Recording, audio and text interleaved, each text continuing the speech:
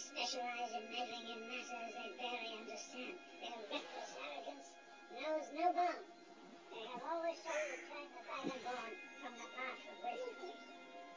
Have you learned nothing from us? Would you simply be a tool